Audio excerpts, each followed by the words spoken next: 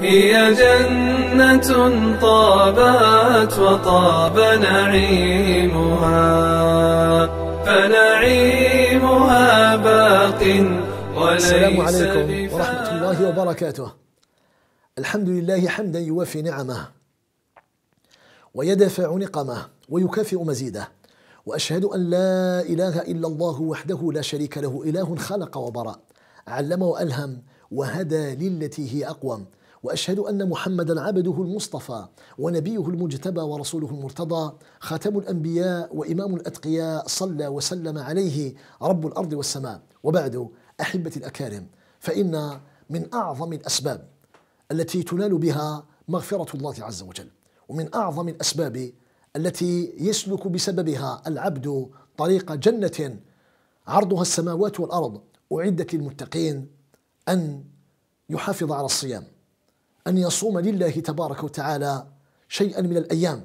نعم قال صلى الله عليه وسلم حينما استنصحه الرجل قال عليك بالصوم لا مثل له لا يعادله شيء. عليك بالصوم لا مثل له. وقد جاء في الحديث القدسي الصحيح كل عمل ابن آدم له الحسنة بعشر أمثالها.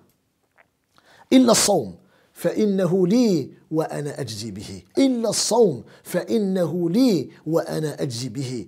قال صلى الله عليه وسلم من صام يوما في سبيل الله باعد الله وجهه عن النار سبعين خريفا. الله أكبر.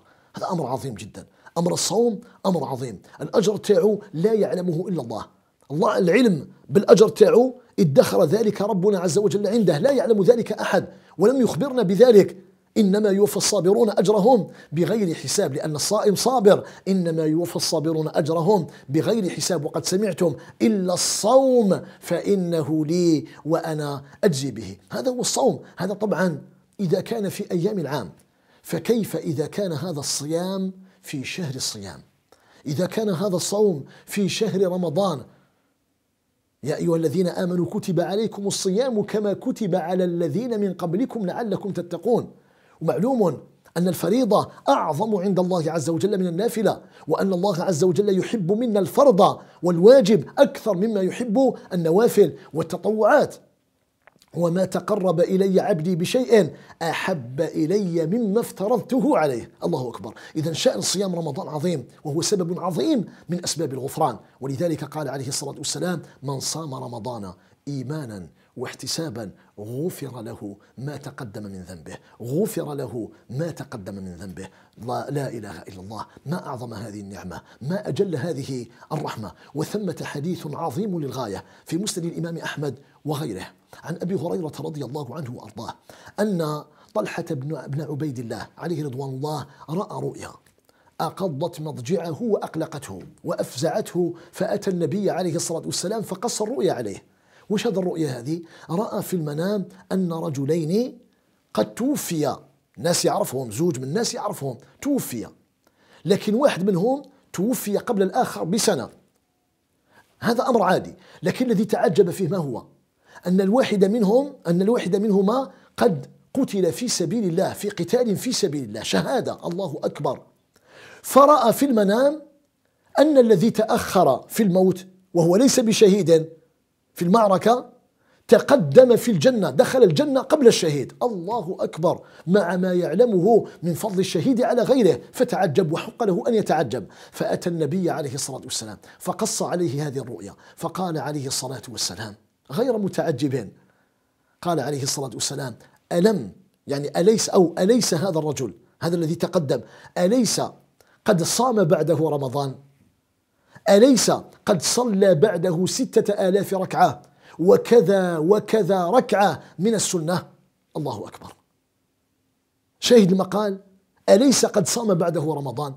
معنى ذلك أن الذي وفقه الله عز وجل للصيام رمضان لابد أن يسبق غيره بمفاوز. نعمة عظيمة جدا. أن يصوم العبد رمضان إيمانا واحتسابا. من صام رمضان إيمانا واحتسابا غفر له ما تقدم من ذنبه. فنحن نسأله تبارك وتعالى أن يوفقنا لأن نكون ممن يصوم رمضان إيمانا واحتسابا. ثم هذا الصيام ليس هو مجرد الجوع والعطش وترك الشهوات. لا والله. من لم يدع قول الزور هكذا قال عليه الصلاة والسلام من لم يدع قول الزور والعمل به فليس لله حاجة في أن يدع طعامه وشرابه.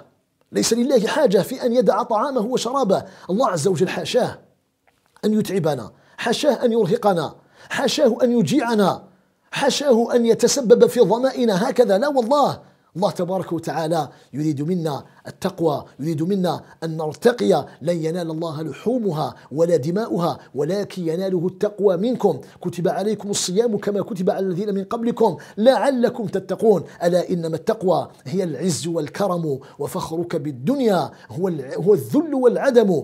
ألا فاسلك إلى المولى السبيل. ولا تطلب سوى التقوى دليلا وإن أحببت أن تعتز عزا يدوم فكله عبدا ذليلا. أسأله جل وعلا أن يوفقني وإياكم وإياكن لأن نصوم الصيام الذي يحبه الله ويرضاه. الصيام الذي يكون سببا للغفران ويكون طريقا للجنان بإذن الكريم الرحمن. بارك الله فيكم وأحسن إليكم وشكرا على حسن الإصغاء والسلام عليكم ورحمة الله. غرفاتها من لؤلؤ وزبرجد وقصور